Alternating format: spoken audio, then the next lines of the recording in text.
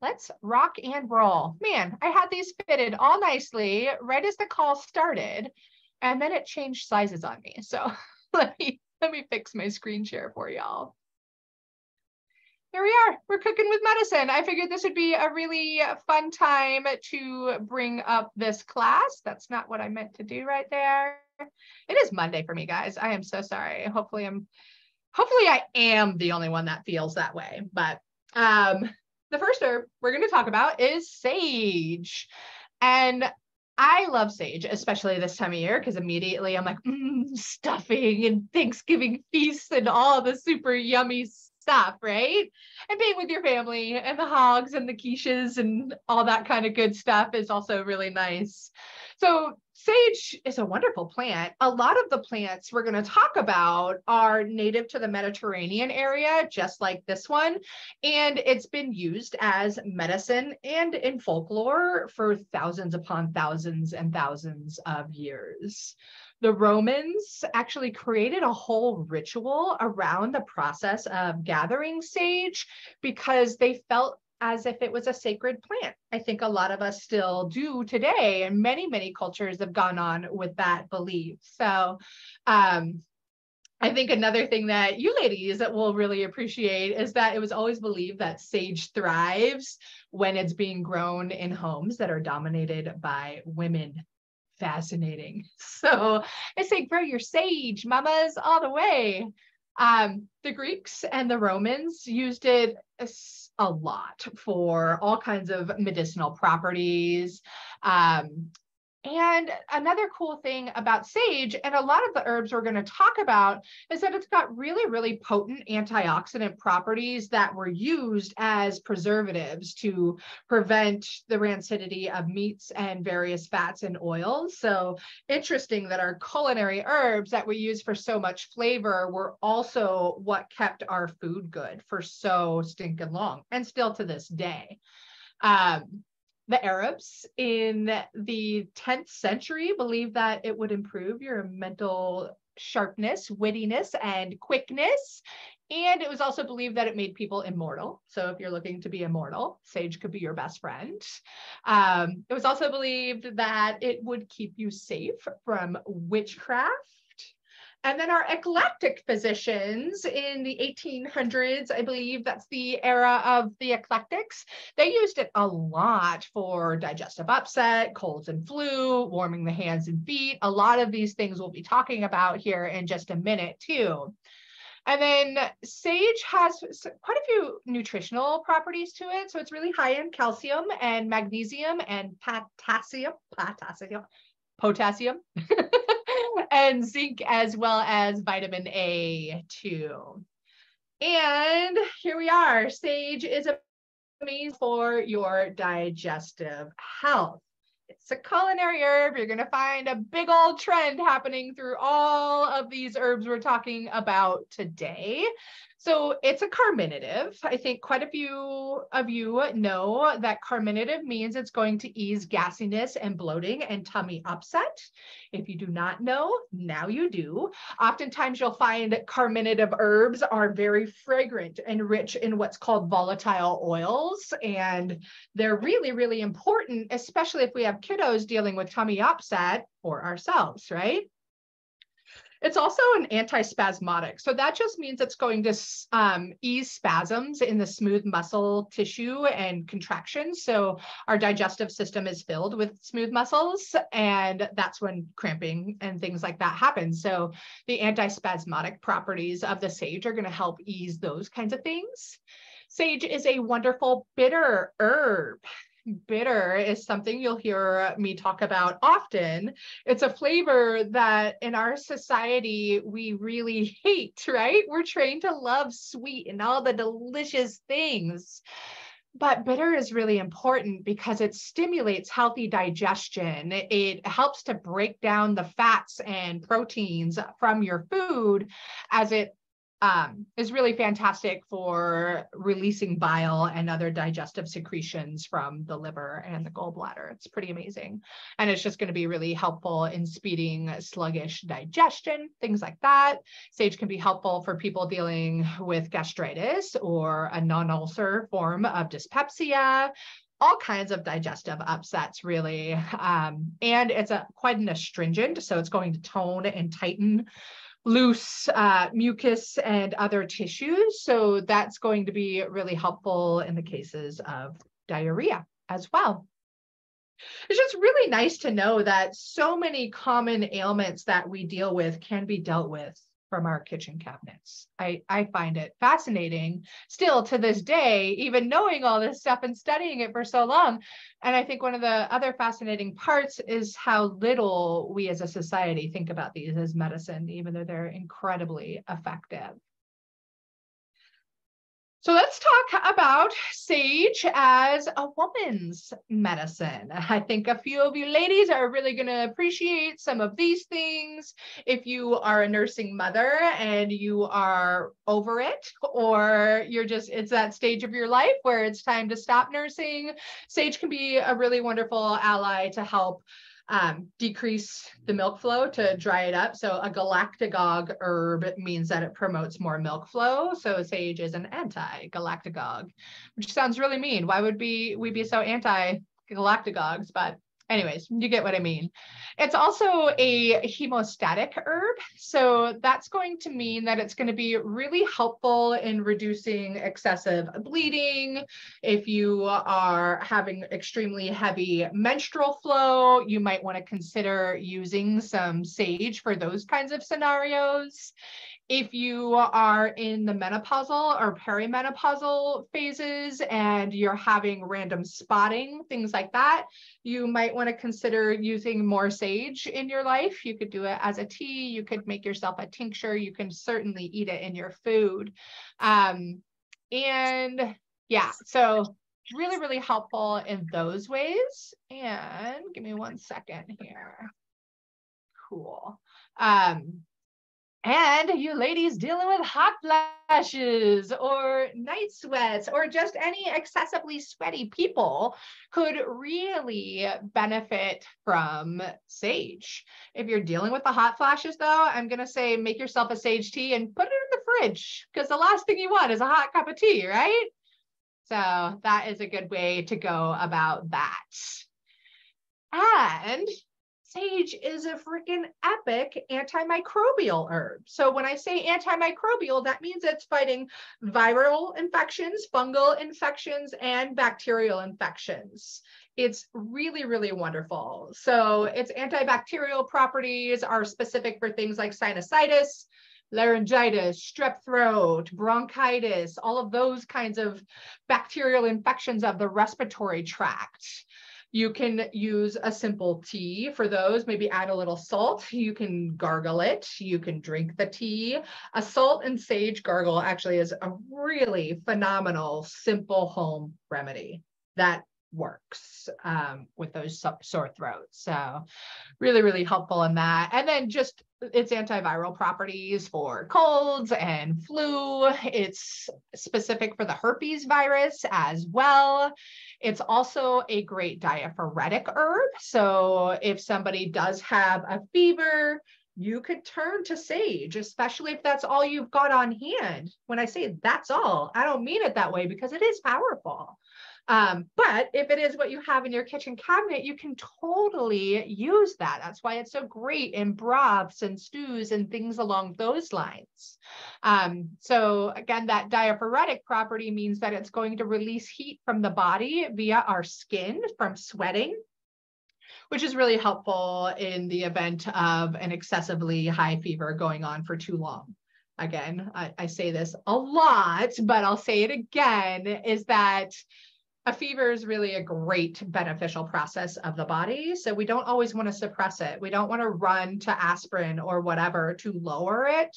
You want to work with the body and the immune system, which is doing an epic job fighting off whatever foreign invaders are there through your fever. It's it's a cool, cool process. And I dive way deeper into that in a whole nother whole nother thing. Um, And yes, it's also an amazing antifungal. So you can use it if somebody's got athlete's foot. You can use it if they've got ringworm or staph infection. If you're dealing with candida, whether it's a digestive candida or a vaginal candida, um, sage can be a really beneficial ally there. Same thing for yeast infections. So it's really a lot going on in there. And it is an excellent astringent. So this goes back to being beneficial for diarrhea because astringents tone and tighten excessive mucus or mucosal tissue.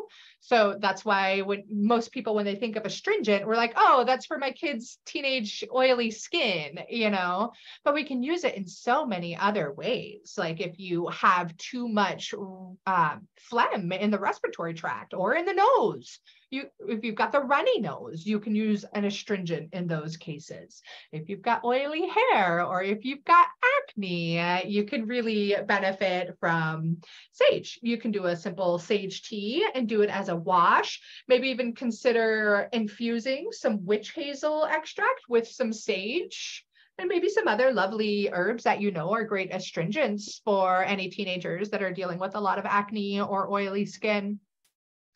You can also use sage as a hair rinse. It is wonderful for getting rid of dandruff and to speed um, hair growth.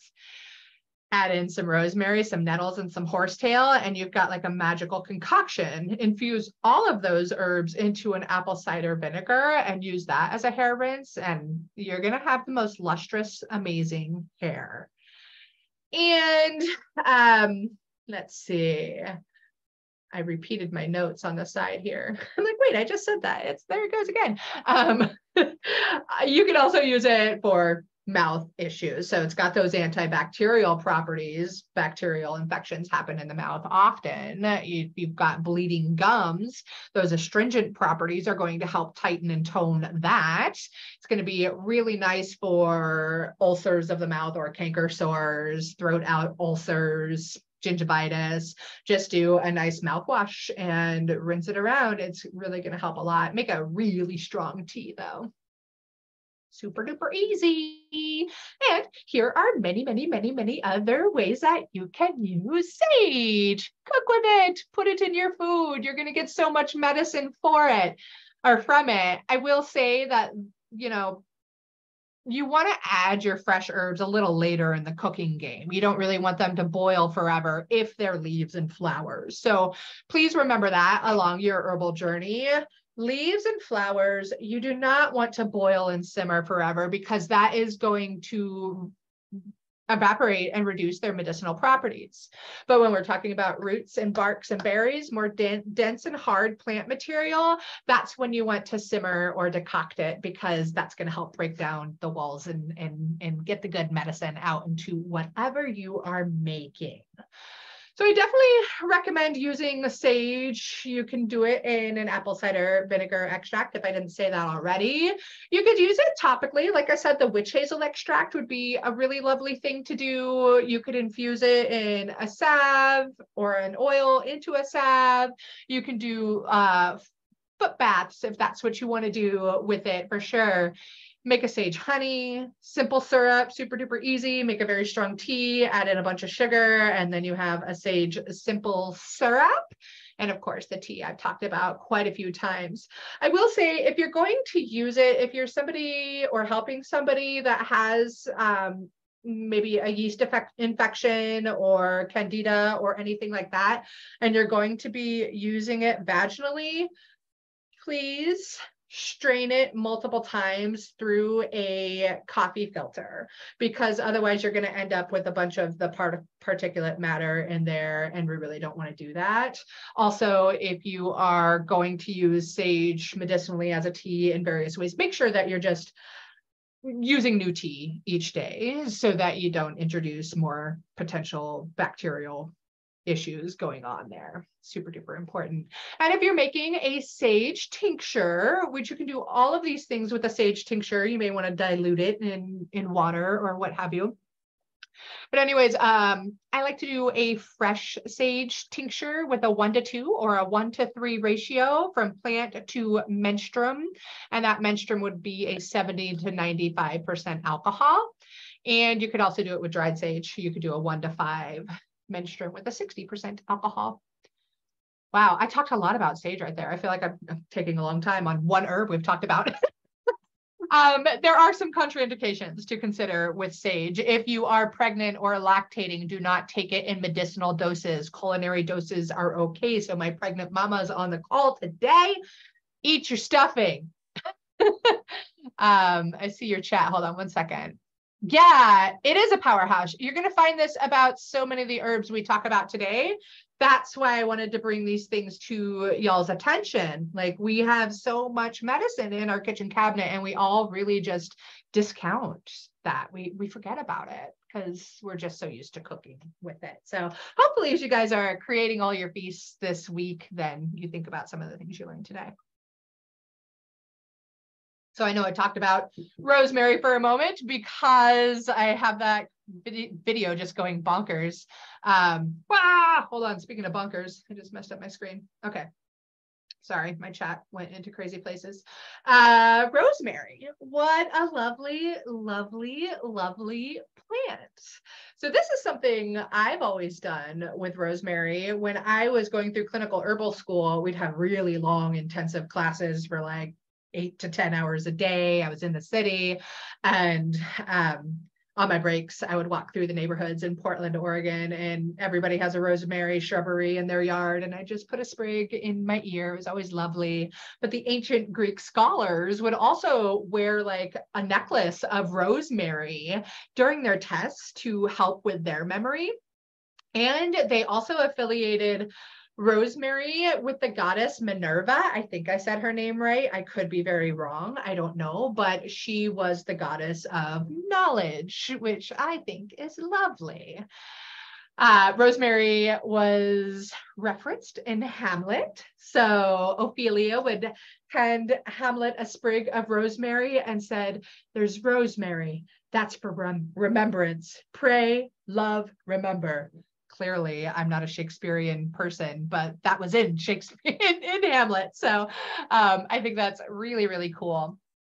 And it was also said that when rosemary plants thrived, it was another sign that women were in charge. And it created this saying where rosemary flourished, the women ruled. So now you ladies know you got to grow sage, you got to go grow rosemary. It was also used in wedding ceremonies. So they would um, create these wreaths with the rosemary for the bride that symbolized fidelity. They would also give the rosemary sprigs wrapped in some beautiful, colorful silk ribbons to show love and loyalty for their guests as well. And they would also burn rosemary as incense. You can totally do this still today. It was a better alternative than like frankincense or myrrh because they were really expensive. And they would also use those burned rosemary sticks to fumigate the sick rooms in hospitals and with the intention of preventing further infection.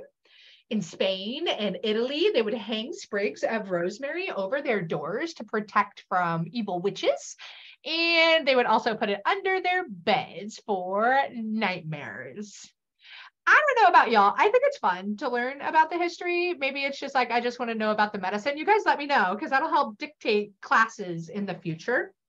If you just want the medicine and don't want to know the history, but for me, the history is fun. It, I think it's also sometimes important to know. Obviously, you can use it as medicine without understanding that. Oh, yay, Jennifer, that's so good to know. I'm glad you like it. Um, cool. Me not let my chat freak out and put it into another location so I can keep it happy on my screen and see all my notes and all that fun stuff. Um, let's talk briefly about some of the nutritional value of rosemary uh, beyond it being delicious and making you really smart. It is loaded with vitamin C, calcium, magnesium, zinc, potassium, iron. Um, it's also loaded with antioxidants that are going to prevent free radical damage and really make for a great preventative for Alzheimer's and dementia. and it's yummy. and there's a compound in rosemary that's rosmarinic acid. It's a volatile oil that has really potent antimicrobial actions that are phenomenal from for fighting colds and flu. Mackenzie, let me know how that works out for you. I'm really excited to hear that. It's exciting. I'm sorry that you deal with nightmares though. Um, you can also use rosemary. Obviously, it's antiviral, so it's going to fight off flus and colds, things like that.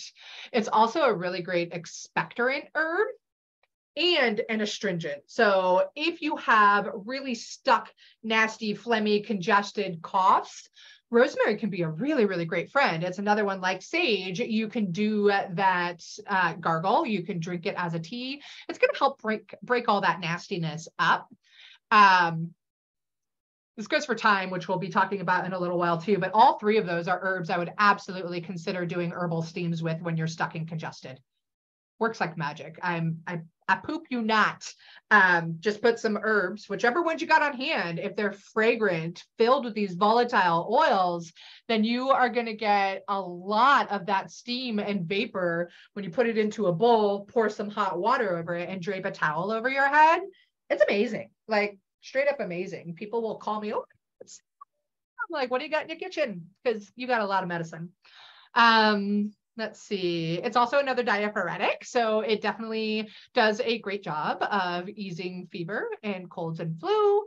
You guys are probably thinking a lot about soups and stew. Yeah, so much to grow this spring for sure, especially if you're the lady running your house.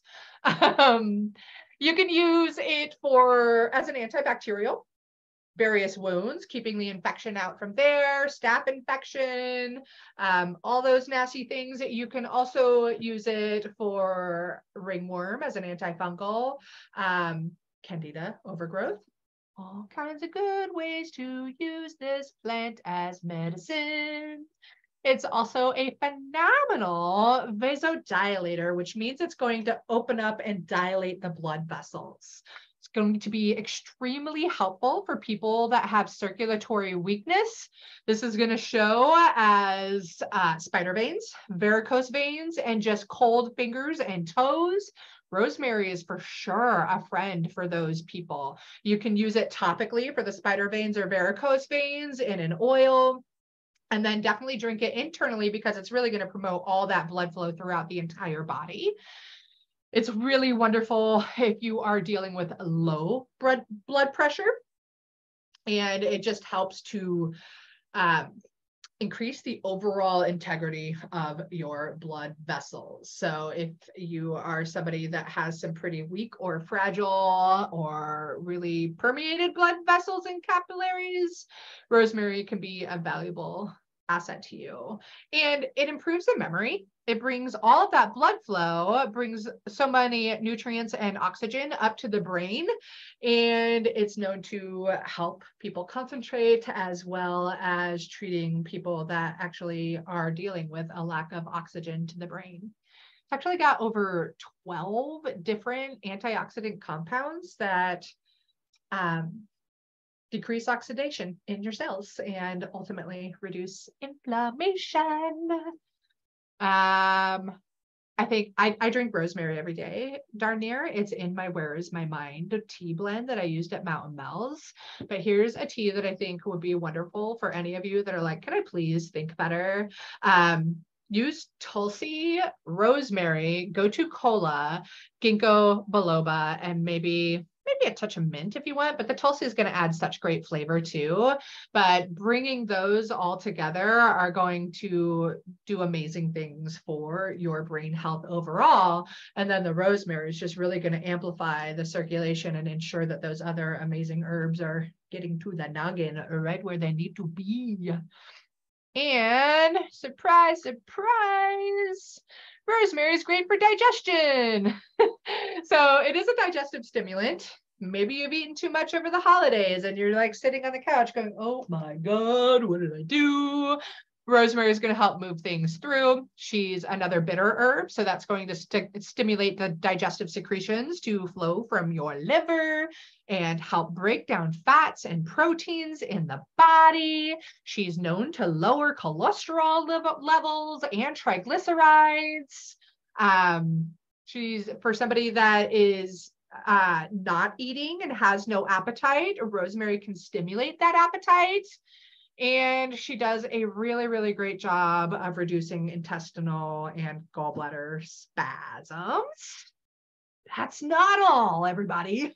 you can use rosemary for your skin. She's particularly beneficial for those with dry or more mature skin. She is known to help prevent wrinkles and just give an overall refreshing rejuvenation to the skin. She is an amazing hair rinse. I talked about briefly with the sage. Um, rosemary is phenomenal for hair regrowth. You can make a nice light rosemary oil and do a little conditioning there. And then you can also use an apple cider vinegar. She's going to prevent the balding and just she's so nice. Um, you can also use her topically for reducing bruising, for people dealing with sore muscles, those de- dealing with neuralgic pain. If you are dealing with rheumatic or arthritic pains, rosemary can be a really great ally topically for sure. And there are so many ways you can use her. As I've mentioned, teas and gargles. You can make a tincture with her. I would do a one to two or one to three ratio with that in a 70 to 95% alcohol with the fresh plant matter. If I was doing dried, I'd go one to five, maybe a one to seven and 60% alcohol. Jennifer, I wish I could hear your voice right now so I could know how to pronounce your last name, but I think it's Wybush. I think, I don't know. Um, sorry if I murdered that, but you can murder my last name. People have done it all my life. um, I made a rosemary infused Weebush. Got it. I made a rosemary infused oil and added rosemary and peppermint essential oil to my post COVID hair loss oil. Nice. So, is that a thing like losing hair after COVID? Because I got COVID in July and I have been losing hair like a freak show. And I talked to my, I have a certified nurse practitioner that I work with, and she's she's like, I have been seeing it off the charts, like out of the blue, everybody's losing their hair mysterious. Um, so yeah, if you guys, anybody else knows of that, I'd love to hear what's going on. As a hairdresser, I have seen a lot of it. Really? Oh and my just gosh, since COVID. Yes. Yeah. It's yeah. insane. Yeah. Yeah. yeah. Huh. Yeah, yeah. She so Jennifer's saying she went to her dermatologist and said they've seen a ton of it too.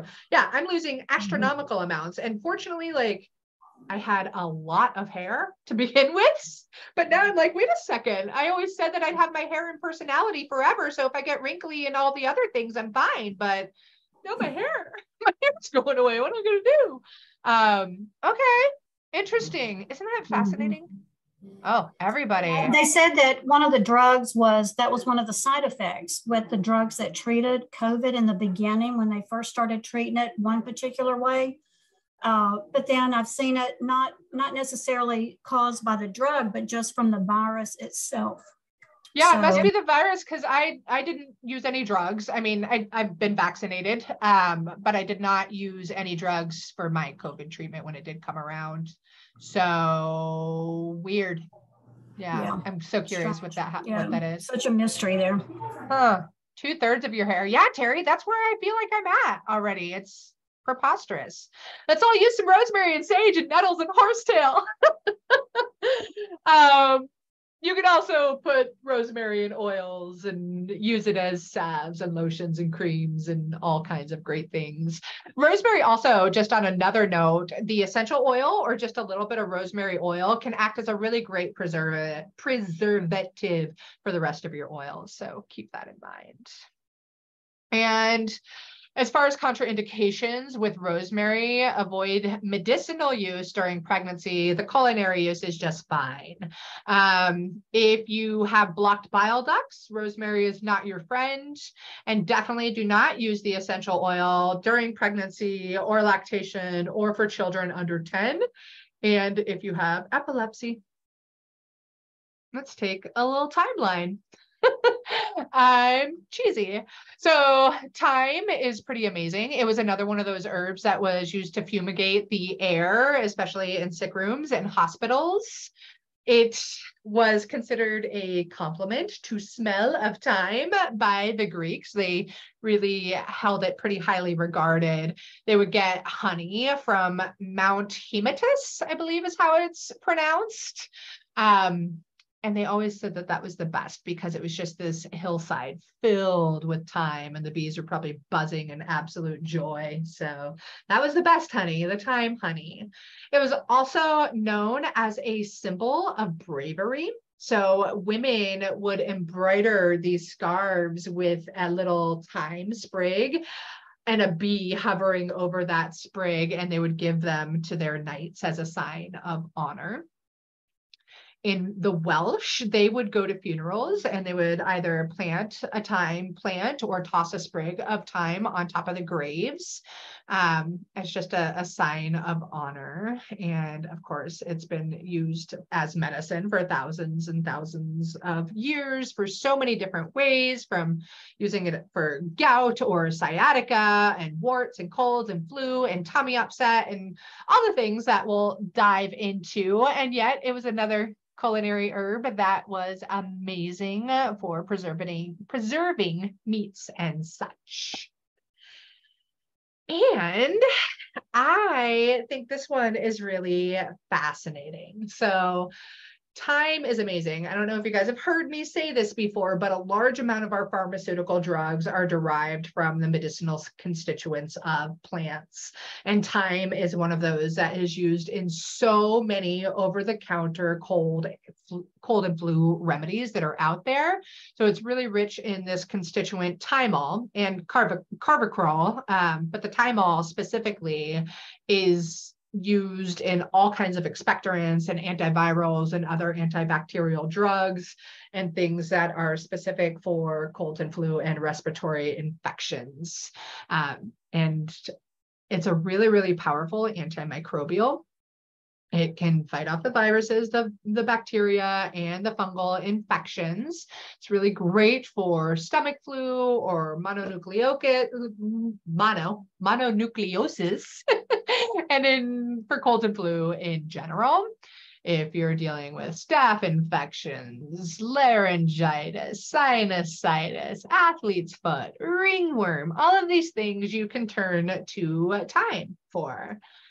And it's another one that's a great expectorant. It's really specific for those that are dealing with like really dry um, coughs with kind of a white, clearish phlegm that doesn't really come up very well. It's kind of stuck. Like somebody who might have bronchitis, it's going to be helpful in whooping cough, pneumonia, pertussis. Thyme is going to be a really, really helpful ally as it gets all that nastiness out can also get rid of the congestion in the nasal passages as well. And yes, it's another diaphoretic. And I think I say that word a lot. I think you guys are all, oh, we've got a couple of new, new mamas in here, but diaphoretic simply means that it's going to help release heat from the body. So it's really helpful um, towards the ending sessions of a fever. And another one for healthy digestion. So it's a carminative. It's going to ease the gassiness and the bloating. Put it in your soups and your stews and your broths.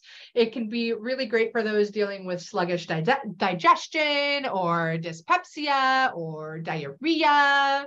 It's really, I, I forgot to mention some of its nutrients, or did I? I think I forgot to, but it does have calcium. It's got chromium. It's got iron. It's got magnesium, selenium, selenium, um, vitamin A, zinc, fiber, niacin, phosphorus, all kinds of good stuff. And we can grow it so easily in our gardens. It's another amazing herb for the liver. So the choleretic properties mean it's going to be promoting healthy digestion by helping the liver, liver, the liver. the liver release bile and other digestive secretions um, and to break down all kinds of fats and proteins. And you can use thyme for all these things too. So if you're dealing with various mouth infections, it can be really, really helpful. They actually use that thymol uh, and the essential oil of thyme in mouthwash like Listerine. Um, it's used in a lot of different toothpastes as well. It's used in Vicks VapoRub, all of these things, and it's you can grow it so easily. And it is a circulatory stimulant and a counter irritant. So that means if you've got like pain and inflammation in a particular area, using this particular herb topically can take away some of that pain and inflammation. It's going to be really nice for those dealing with sore muscles, varicose veins, sprains, strains, bruising um, rheumatic and arthritic pains. You can use her as a wound wash. You can use her in a fungal foot bath or for ringworm, all those fun things. And it's super duper easy to use. You can do honeys and syrups. You can do poultices. So taking the fresh plant matter or the dried plant matter and getting it all wet and placing it topically on whatever particular area you're trying to treat. You can do the foot bath. You can do vinegar extracts. I mean, we've all done the fire cider, right? That's a vinegar extract. You can make a tincture with it. Um, you can cook with it. for the tincture, you're going to go for like a one to one to four ratio with an 80 to 95% alcohol. And if that's with fresh plant matter, if you're doing dried, you would do a one to five. Uh, Jennifer, which would be best for strep? I would make a tea and then do a continuous gargle with it. Make a really, really strong tea. I would add in the sage. I mean, we're talking about a lot of herbs that are going to be really fantastic for um, if you're talking strep throat or if you're talking streptococcus, it really depends on which which variable we're talking about there. Um, yeah, so consider that. Um, if you're doing the tincture, you want to aim for 15 to 90 drops a day of the tincture, about three to four times daily. And yeah, I would definitely, you know, put it in your soups and your stews and sip on that broth to soothe the respiratory, to soothe the, the throat and do gargles and drink the tea and all of those fun, fun things. Sorry if that's what you're dealing with in your house. That's not fun. I'll take away the fun. Um, honeys, you can infuse it in honey if you do have the essential oil of thyme. You could do like one drop of thyme essential oil to two to four tablespoons of honey. Mix all of that together, and then that's your thyme honey. And then put that in your water, hot water, or teas, things like that. And you're going to get a lot of those medicinal benefits out of there. And then as far as contraindications, there's not much going on. If you are pregnant, do not be taking thyme essential oil internally. Use it for food, no doubt. Um, if you're allergic to mint family herbs, don't take mint family herbs. Pretty simple one. and one of my favorite herbs, garlic.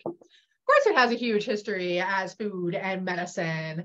Um, it's believed, from what I've heard, is that it originated in the high plains of West Central Asia. It was commonly used for, for tuberculosis, dysentery, of course, common cold and flus and all kinds of digestive upset. The Greeks used it for asthmatic cough um, as a suppressant and also for intestinal parasites. Pliny the Elder, he used it as the antidote to snake bites.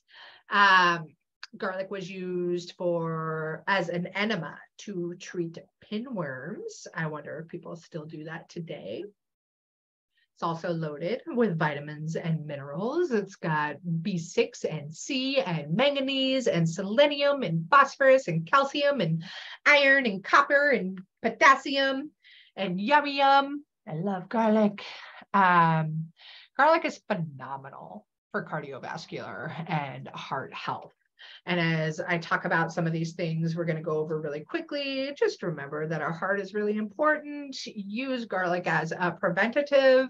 But if you're really dealing with some major heart health issues, you want to work with somebody on that um, and not just say, oh, garlic will fix it all, though it fixes a lot. um, and again, it's a, it's a really great preventative.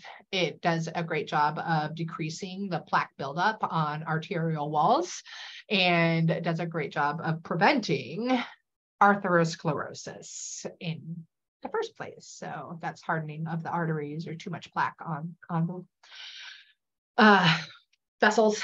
And it will also do a great job of thinning really thick viscous blood, which is going to reduce the risk of stroke and heart attack. It's going to lower total blood serum cholesterol levels and lower triglycerides. It lowers the bad cholesterol, the LDL, the low density lipids, and will help to increase the good cholesterol, which is your HDL or high density lipoprotein cholesterol. It is wonderful to help those dealing with um, hypertension or high blood pressure. It's going to help dilate peripheral blood vessels and increases the total volume of blood to your capillaries, ultimately lowering blood pressure. It's amazing. Did I mention that yet? Because it's true. it's also a great immunomodulator. So it's going to strengthen and support the immune system throughout the entire year. Um, it increases natural killer cell activity and activates your lymphocytes and all these cool guys that go hard to work inside of your immune system. It's an amazing antiviral herb that has been shown to fight off the herpes virus, both one and two, fights off parainfluenza type three, it fights off rhinovirus, just to name a few of those that it's amazing for. I highly recommend using raw fresh garlic for these particular properties. It's also really great for fighting off allergies. It reduces the release of histamine, histamines from your mast cells. Pretty neato. It's an amazing antibacterial herb. It's amazing, amazing. So there's a constituent in it called allicin, A-L-L-I-C-I-N. And there have been many studies showing that allicin being comparable to using antibiotics like penicillin or tetracycline. As I say that, if you need the antibiotics, do the antibiotics. I'm just sharing scientific facts and study and data. Always good to say to to work with your doctor or find somebody that you trust if yours sucks, which a lot of them do. Um, as far as garlic and its bacterial antibacterial properties when i was pregnant i had group b streptococcus and i um, was told i'd have to take antibiotics and i was like i don't want to take antibiotics because i knew that would go straight to my unborn child's gut and start her off on a bad path with a jacked up gut so I opted to take usnea and garlic, and I would score the garlic because for the allicin to be released, you need to have it crushed or chopped up. That gets all the good stuff out. And then I wrapped a string around it and I stuck it up in all the beautiful places. And I would leave it in there overnight while I slept. And a week later, went got and went back and got tested, and I was negative on Group B strep which is really funny because everything on the internet is like, nope, you have to do the antibiotics. And I'm like, no, I don't. Thankfully, I've got an amazing doctor who is my midwife. She's my naturopath and she's brilliant and was like, yep, do what you got to do. Um, so I was really fortunate for that. Um, Ah, oh, thanks. Yeah, I was really stubborn in those days. and um, yeah, it's it's amazing what you can do with plant medicine and I was really deep in my like clinical studies when I was pregnant too. Um, you can use garlic as uh, an antifungal in amazing ways. If you are dealing with vaginal candida, you can do exactly what I did with group B strep. Um, you do want to tie a string around it and basically use it like a tampon and um, be careful replace the garlic every three hours or so. And if you feel excessive heat, because garlic is very, very hot and can be caustic, um, stop using it. Use it in, in, an infused oil, could be a little bit more helpful, but you really do want to be careful of not introducing other bacteria. So, um, garlic is phenomenal as an ear oil for the littles when they have an earache. So you're just going to infuse it in some olive oil you can use mullein with this also. The garlic mullein combo is amazing. And you're just going to place a few drops into the ear canal at the beginning stages of an ear infection and rub and massage around that whole area. Maybe place a heating pad there to give them some relief and love it is important that if you're going to go with this method, you also are taking on other antibacterial herbs internally just to ensure that you're killing off all the bacteria causing the infection, or you run the risk of actually doing more damage to the inner ear, and that could result in total hearing loss. So be careful. Um, and if these herbs are not working for your kiddo with an earache, go to the doctor. Speaking from a girl who's had ear surgery 13 times and has a fake eardrum and drilled into my mastoid gland and three bent bones taken out and replaced with cartilage, pay attention to those ears. also, if you're dealing with concur or recurring ear infections, consider eliminating dairy. Surprise, guys, it's another carminative, carminative and gut loving um, culinary herb. It's Monday, guys. Bear with me. My brain has just been like, what? No, you don't want to work today. But I do. Um, garlic is amazing for gut health. It reduces the bad gut bugs, our gut bug enemies, and will actually improve our microflora in the gut by encouraging more of those good gut bugs to grow, especially when you're doing that fermented garlic or lacto fermented. Um, putting garlic in your kimchi's uh, and your sauerkrauts, all those kinds of things. Uh, it's been fantastic for food poisoning and treating dysentery. It's also really, really wonderful for H. pylori, which is um, basically these germs that get into your body through your digestive tract. And after many years, they ultimately end up causing sores, or ulcers in the lining of your stomach, or maybe even part of your small intestine. And for some people, H. pylori can lead to stomach cancer. Obviously, we don't want that. Uh, it's actually really, really common, H. pylori. Most of us, about two thirds of the world's population has it in their bodies. So garlic is a, a really powerful friend in that way. Um, yep. I love me some garlic. So put it in your food. It the most medicinal properties you're going to get from garlic and do come from it when it is raw. And garlic raw is really, really hot. it's not easy to take in. So I know I started all of you guys out with some raw garlic honey, and that really tones down the heat. And of course, if you're using a good quality honey, you get all the medicinal benefits from that as well. Yes, absolutely put it in apple cider vinegars. My partner is a ski bum for life. He he works in the ski industry. He has for the past 20 plus years and he lives in ski boots and winter boots in the colder years and he gets the foot funk he gets athlete's foot so we'll take like a clove of garlic and puree that with some apple cider vinegar and maybe make a really strong calendula or any of the other herbs we've talked about because they're all antifungal right um, make a tea with them and then put that put make a foot bath with all of that kind of concoction together and it works really really well. Infuse garlic in your oils. Eat it eat it eat it. Uh, anybody think of other great ways to get raw garlic into your body? You can put it in olive oil raw, and that's a really fantastic marinade or salad dressing. Uh, do be careful because it can go bad. Um, you can make a garlic tincture for sure. That would be a really, really hot tincture. So be careful. And speaking of be careful, um, well, let's move into contraindications. Pregnant ladies, limited use. Use it for food in lots and lots of ways. There's no actual contraindications, but the biggest issue is that it can cause gassiness and digestive upset for you and for your baby. If you are breastfeeding, same thing. If you've got a colicky baby, you may want to consider reducing or taking garlic out of your diet.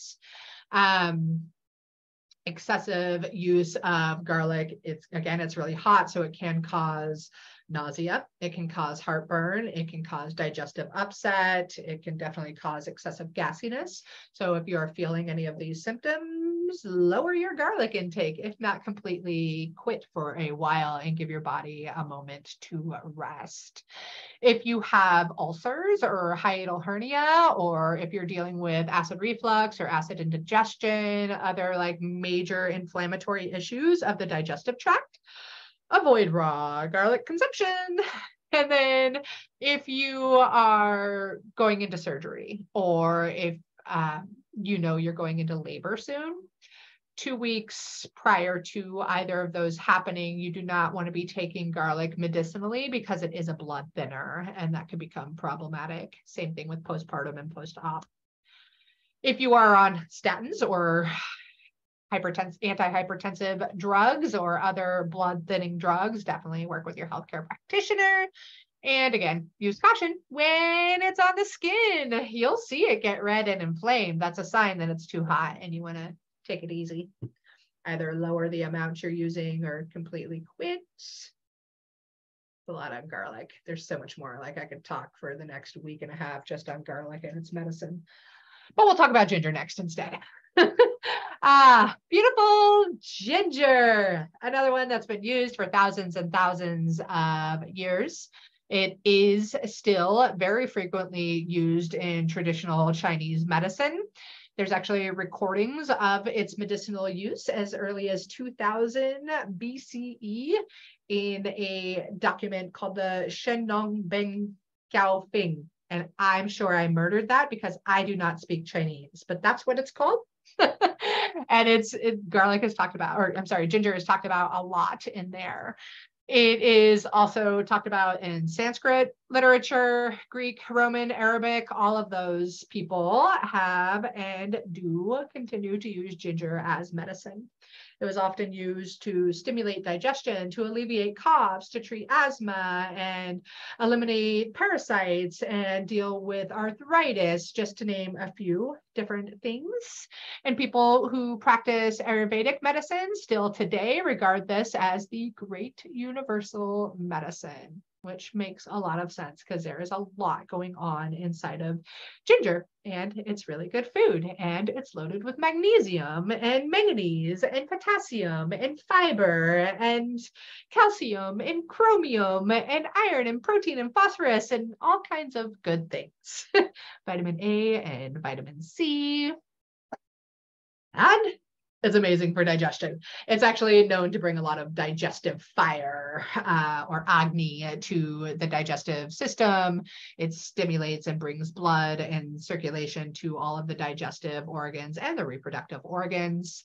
It's really fantastic for those dealing with nausea, whether it's um, a postoperative nausea, morning sickness, Seasickness, for seasickness, it is best taken for hours prior to heading out to sea. Um, to me see. Uh, it does a great job, of course. It's a carminative, so it's going to ease the gassiness and the bloating and the tummy upset. It's really great if you've got just sluggish digestion, dyspepsia. If you're dealing with diarrhea, it can be a really great ally. It is fantastic. Get some ginger on board if you're dealing with food poisoning or for those dealing with IBS, you could consider ginger as a friend. Um, it's also a great choleretic, so it's going to increase bile secretions and help your body to break down fats and proteins.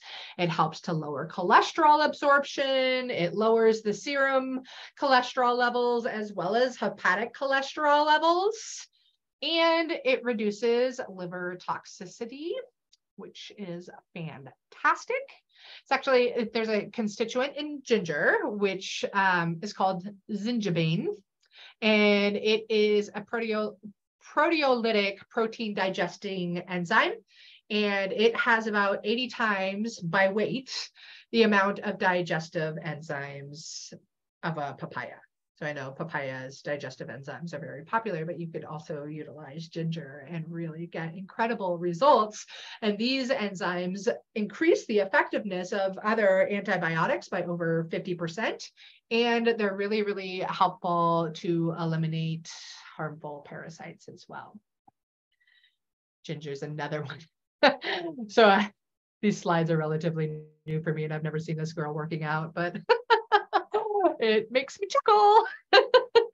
um, yeah, ginger's another great ally for heart and circulatory health. She's gonna help lower blood pressure for those that are dealing with high blood pressure. She's really helpful in atherosclerosis, which is hardening of the arteries again. I spoke about in ginger or garlic.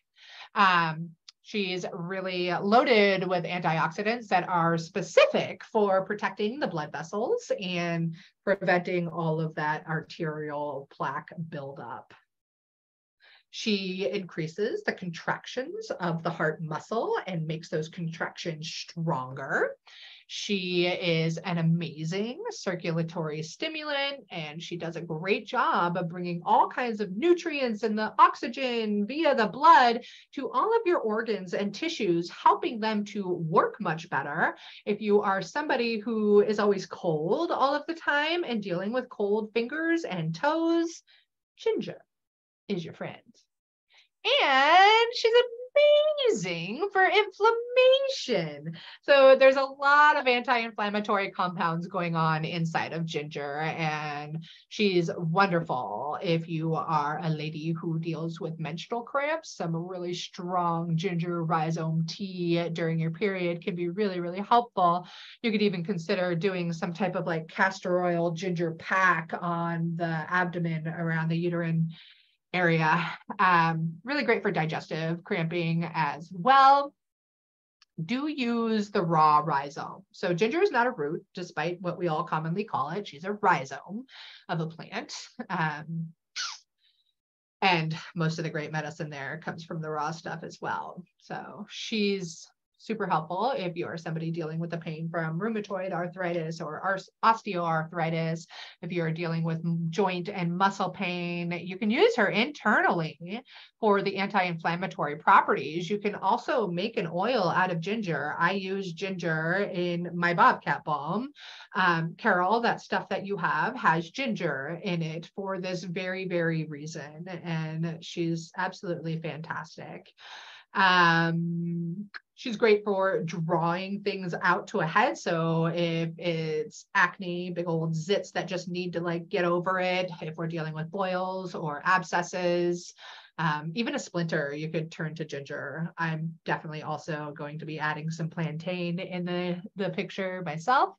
Um, yeah, super, super helpful plant and super helpful in these ways as well more antimicrobial properties, right? That's why a simple cup of ginger, honey, and lemon at the onset of illness actually works wonders.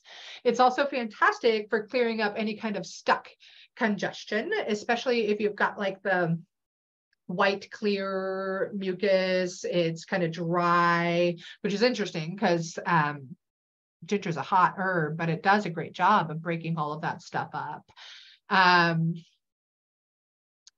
what else? Colds, flu, rhinovirus, all of those kinds of things. She's a great antibacterial, specifically if you're dealing with food poisoning or you've got salmonella, E. coli, those kinds of things, um, staph infections, strep, ginger, choose your body.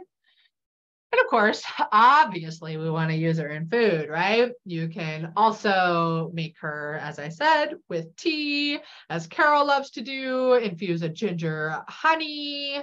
How delicious is that? Then you can use all that honey on like some broccoli or stir fried, whatever you want, and it's going to be absolutely delicious. Um, you can do a ginger glycerite. It's going to be a little less hot and potent for the littles. You can do a tincture, one to two, in uh, 70 to 95% alcohol. It's going to be hot but good. really, really good. If you're doing the glycerin, do a one to three ratio. So one part ginger with a three part of the menstruum. And I would do a mix of 50% glycerin, 50% alcohol. And contraindications for ginger. If you're pregnant, poor mamas, don't use it as medicine, but use it in your food. So you still get plenty. You can use it as medicine if you've got colds or flu and you're drinking some tea and things like that. You're going to be just fine. Um, if you are somebody who is dealing with acid reflux or heartburn, or you've got ulcers and you feel more aggravation when you take ginger, stop taking ginger. Um, if you are on blood thinners, talk with your doc and be cautious with ginger. If you have blocked bile ducts, be cautious in avoiding ginger. And again, watch for those topical applications because it is a very, very hot, hot herb. It's a lot of stuff. like, oh, we still have so many more herbs to talk about. Um, oregano. This one's beautiful. Um, everybody loves it these days. They consider it like the holy grail of herbs these days. It seems to be on TikTok. And I'm like, come on, there's so many others. Um, but it does have some great aromatic properties. It's got a lot of similar properties to the rosemary and to the thyme and to the sage that we've already talked about. Aristotle um, saw that turtles ingested oregano after eating a snake. So then he started to use it as the antidote to snake bites and poison. the Greeks and Romans regarded it as a symbol of happiness and joy. And so they would adorn their brides and their grooms in crowns of oregano at their wedding ceremonies. Today, it's grown all over the world. It's super duper easy for you to grow in your garden. It is loaded with antioxidants that prevent the rancidity of meats and fats and oils. So it's great for curing of those things.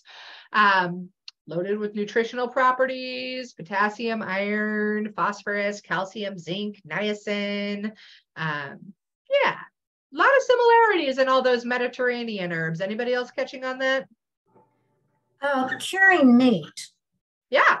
Explain that. Like it can, you can, what are you doing? Are you saturating your meat in like an oregano oil and it's going to cure it or? I don't know. I've never done it this way. This is just what they did it historically to preserve all of their meats. Like they would use these herbs because they were so loaded with various antioxidants that kept their meats good longer when there was no such thing as electricity and refrigeration. Okay. I don't know how they did it. Um, I would assume Probably. that maybe it was wrapped up in the meat. That- like, yeah, that's what I'm thinking now. More, Yeah. you know, just covering it, totally saturating it. mhm. that's my Cool. assumption. Isn't that cool? Yeah, it Crazy. is. And then grieving and loss, grieving the loss of a loved one, Um, Mhm. Oh, I loved on. a loved on. Yeah. Just to say one. Thanks. yeah. Hmm, Um, Interesting. yeah, isn't it? I mean, Yeah.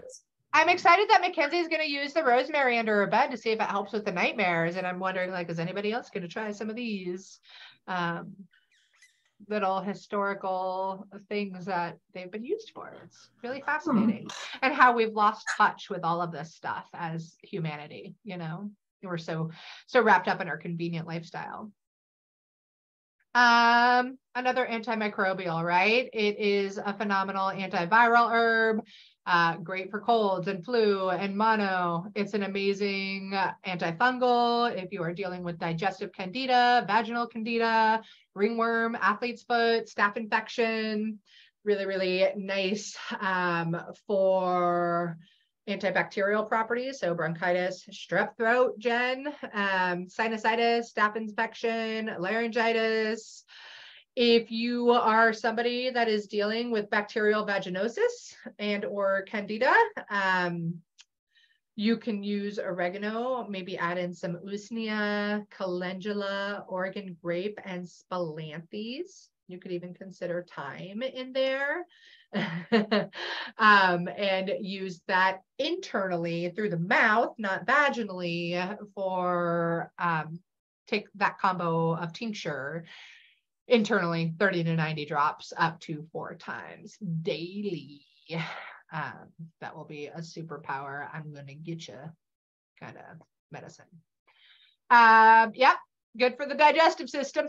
it's got a, a, lot of the same constituents that you find in thyme, the thymol it has, and um, that is responsible for the bactericidal and antiparasitic and fungicidal properties of oregano and thyme. So it'll fight off giardia and pinworms and hookworms, um, which is really nice. It also speeds up all the sluggish digestion. It's going to be really helpful for anybody dealing with non-ulcer dyspepsia. If you're dealing with colic or indigestion or flatulence or diarrhea, um, consider oregano it's it's a great one. I mean, I just find it so funny if you guys I've mentioned this a time or two, but picking it up on these Mediterranean herbs and how much they really have in common for their medicinal properties, for their historical uses, for their folkloric uses. It's, it's fascinating.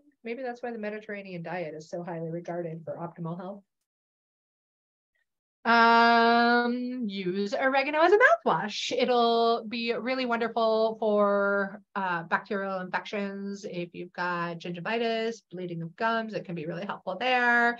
You can use it topically for sprains and strains for muscle pain joint pain bruising all kinds of things.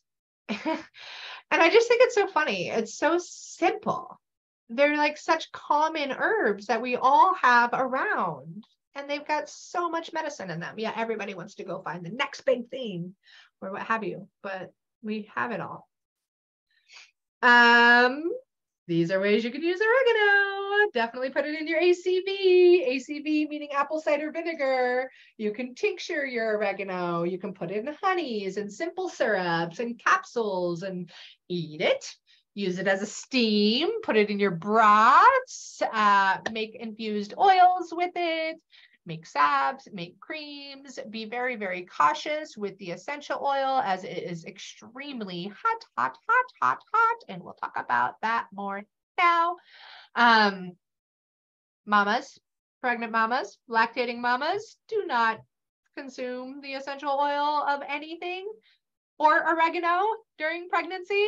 Um, you can use oregano culinary and for your food.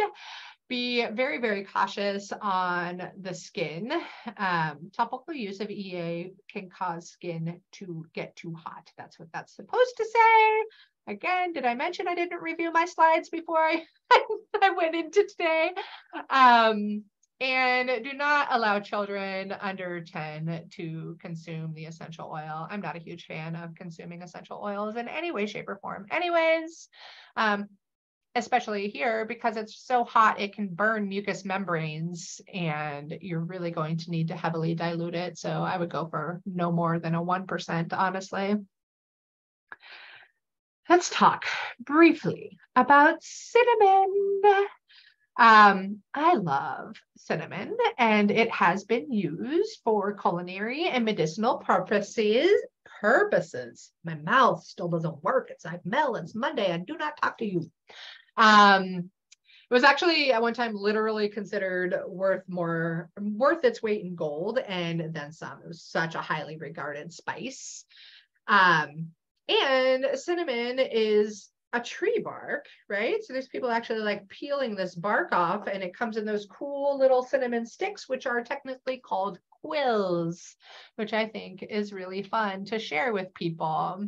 Um, let's see. Yeah, think of those lovely farmers when you're making Christmas cookies and things that work so hard to get that cinnamon bark off of those trees and give them a thank you from your home to their hearts.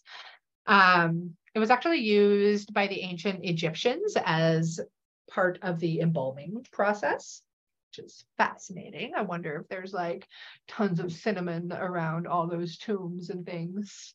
Um, and it was and still very much is used for abdominal pain and diarrhea, vomiting, cold, flu, uh, heavy menstrual flow. The eclectics used it as a hemostatic for menstrual cramping and heavy bleeding. Um, yeah, It's also got some great nutritional properties to it. It's loaded with iron and magnesium. Um, and zinc and it's yummy. Oh, and I did a homeschool class using the cinnamon sticks from my kit. I want to know what you did with them. Tell me. I love that story. I hope all your medicine making came out really, really wonderfully. And cinnamon is another amazing one. Um, if you are dealing with circulatory health issues, if you have cold hands and feet all of the time, cinnamon can be a really, really wonderful friend for you. If you need um, a little oomph to your rep reproductive organs, cinnamon can be a great friend. You can get real crafty with cinnamon. All kinds of winks, winks, and nods, nods. Um, have fun with that and be gentle. Coconut oil is great. Um, Yes, so it's going to stimulate healthy digestion. It's going to warm the digestive organs as well. If you are somebody who is dealing with really heavy bleeding, maybe you've got uterine fibroids or cysts or just have heavy periods, you could really benefit from using cinnamon. There's an Erigeron cinnamon that midwives will use for hemorrhaging um, during labor that is really beneficial. Um, and I love cinnamon. It's yummy. Uh, it also is really fantastic for reducing sugar cravings, even though we add it to tons of sugary things during this time of year. I put cinnamon in my coffee every single morning. Like I pour my cup of coffee and I sprinkle cinnamon on top of it and I drink it up. I absolutely love it. Um, let's see yeah so consider more cinnamon if you are somebody who is addicted to the evil drug of sugar it can be a really great helper um, it's a great tummy soother. It is a demulcent, which is specific for the digestive tract. So it's going to be cooling and coating and soothing. Can be really, really helpful for somebody who has diarrhea as well. Uh, Jennifer, you could absolutely use a tea for heavy periods. There is um, an extract that Herb Pharm makes. You can probably find it through Fullscript. That is Ergenon. I want to say it's E R G E N O N. I could be off on my spelling there, um, but it's phenomenal for heavy periods. The tea is going to be okay. I would go for something stronger because you're going to have to drink a lot of tea to get the really strong medicinal benefits there. And that strong of a tea, like why why do that to yourself? It can just be like, bam, got you with a tincture. um, let's see. It's another carminative. It's going to ease the gassiness and bloating and tummy upset. It also fights off all kinds of oh yeah i love to use it with ginger in a tea for a lot of these things. It just brings more heat to it and helps fight off more infection as well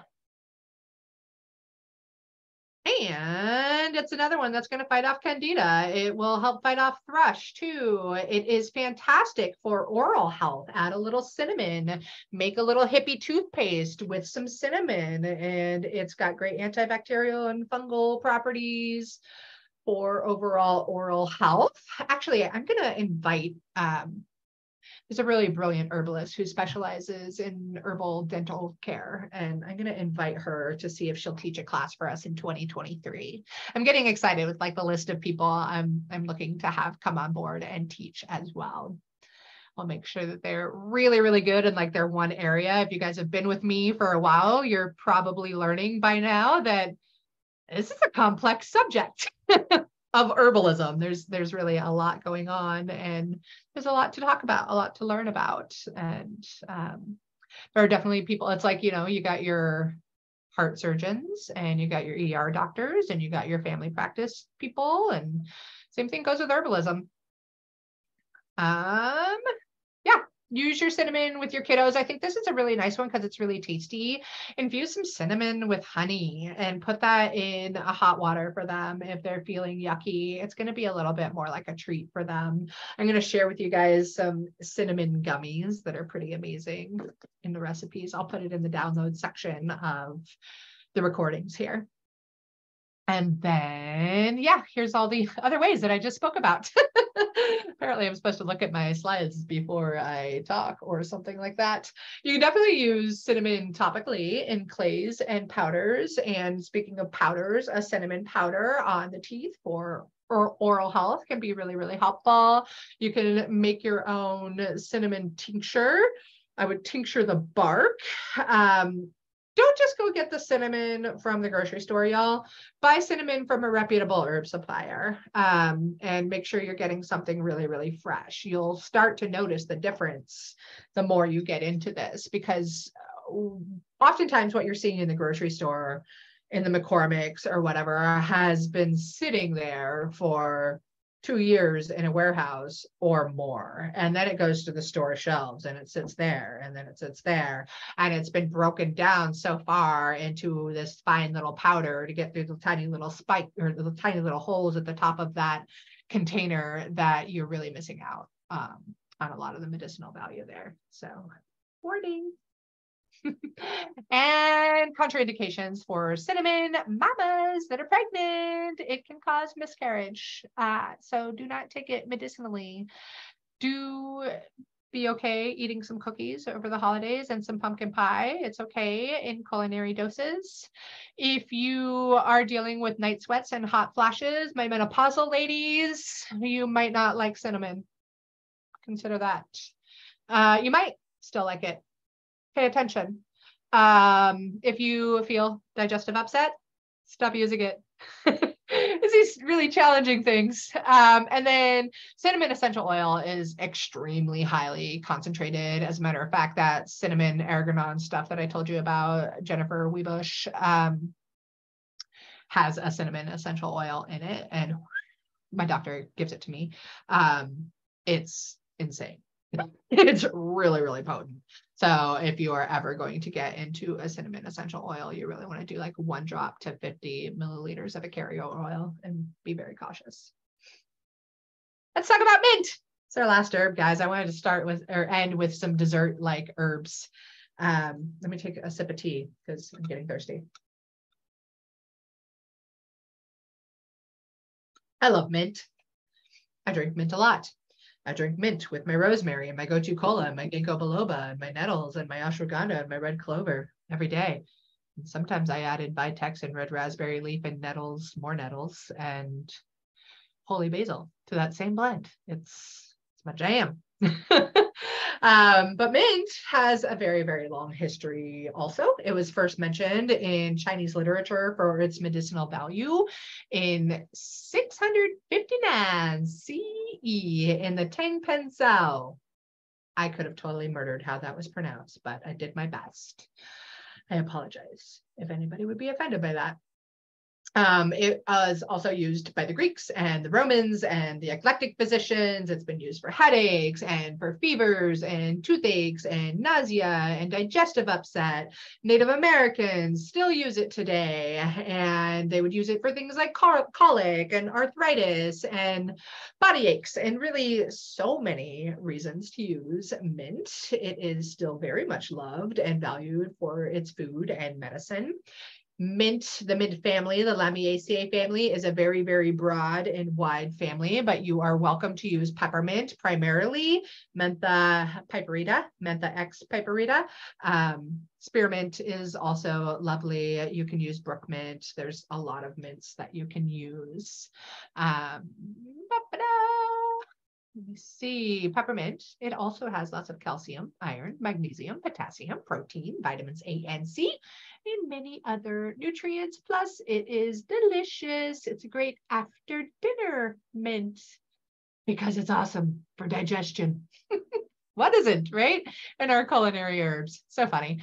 Um, this is a really great one for any mamas that are dealing with morning sickness. Peppermint can really be a valuable ally to you.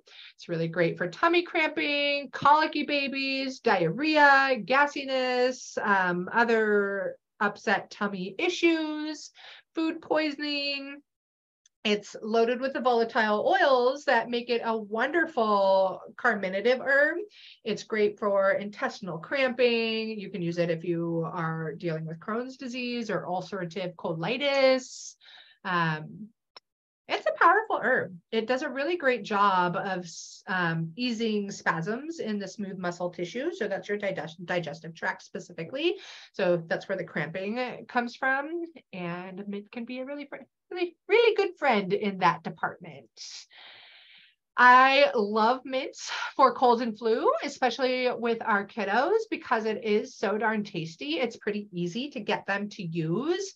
Having a little mint to do an herbal steam can work wonders for sure.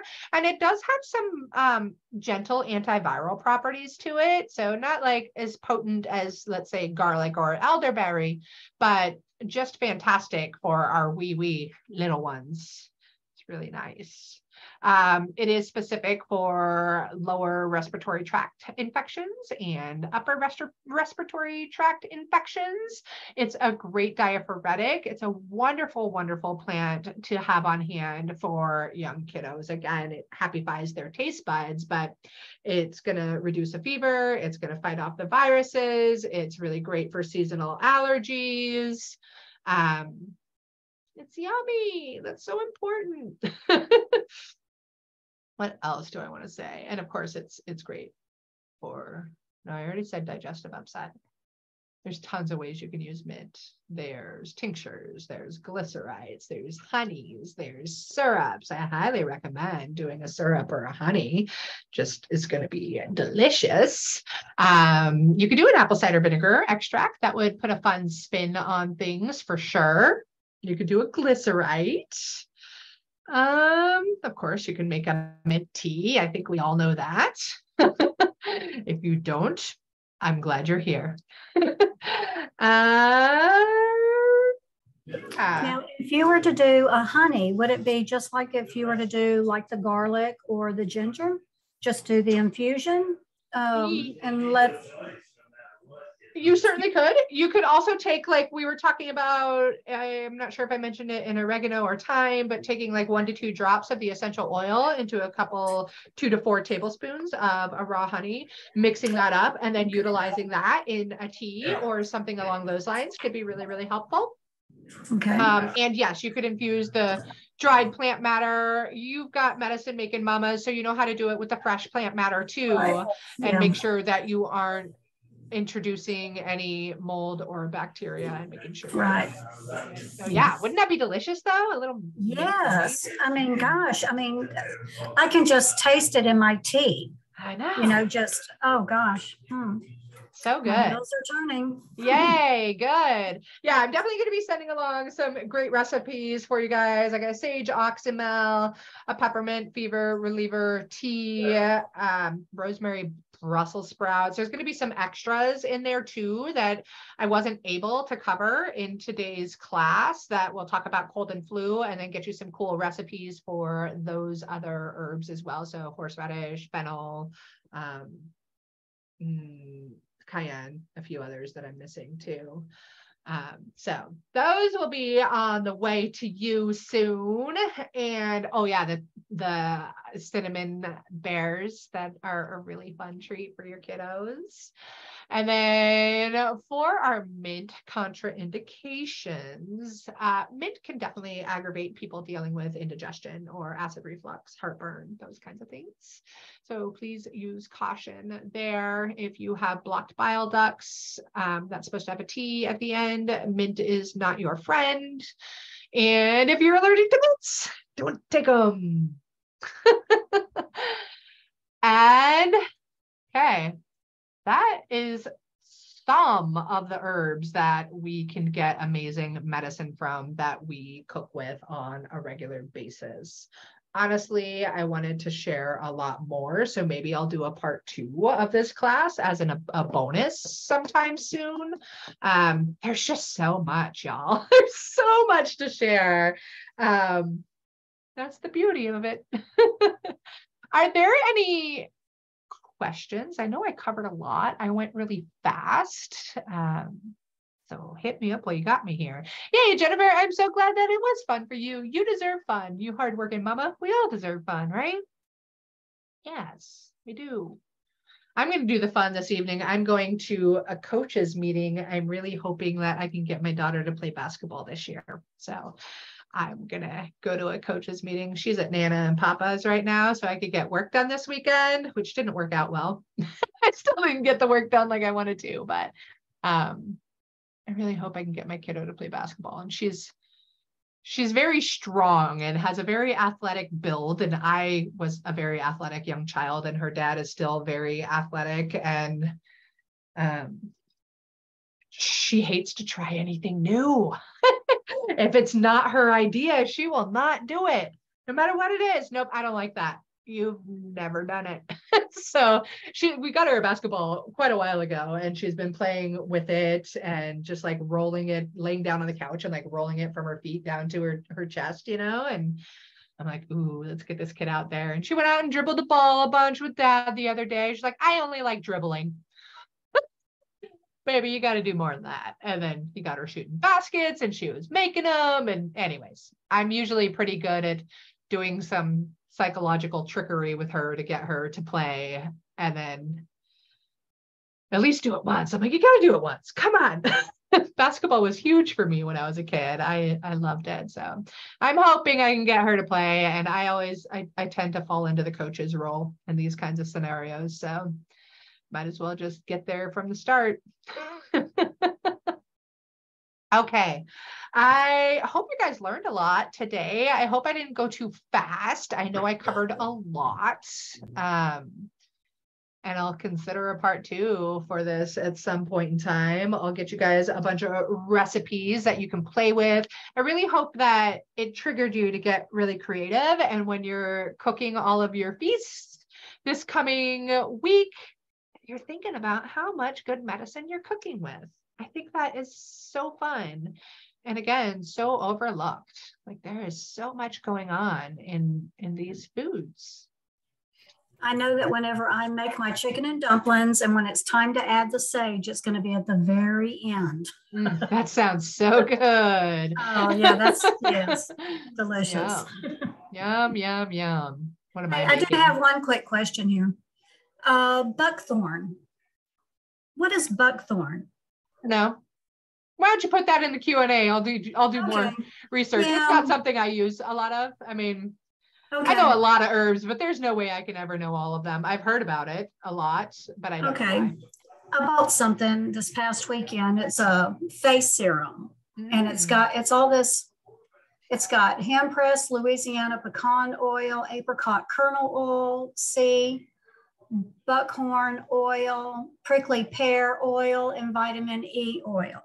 Cool. And so exciting. I'm just like, um, well, let me ask Mel about this. I went ahead and bought it. It was only $18, but nice. I'm about to make a big old batch of facial oil. I might I might sell it. Like my daughter's got like a family uh, cultural night, multicultural night at, for her homeschool community. And um, I need to make some for myself. So I'm like, well, I might as well make some and sell and do that kind of fun stuff. We'll see. Just because yeah. now that I'm not running it all as a big product business, I can create and formulate for fun, which is really great. Yeah, it's definitely sea buckthorn. Um, and I just don't know much. Yeah, it is. That's what it says. Sea buck, yeah. buckthorn. Yeah. Maria, um, sorry to cut you off, Carol. I was just going to no, read no, no, Maria's okay comment. I am glad you showed up. I'm glad you're an Apothecary Mamas, and it sounds like we're going to get to learn all kinds of fun things with you. So I'm excited. Thank you for being here. Um, and I will aim to get those replays up to you guys ASAP.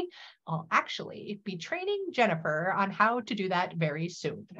so she could do it for me much faster than I can. So um, yeah, thank you, Terry. And I wish you all a magnificent Thanksgiving.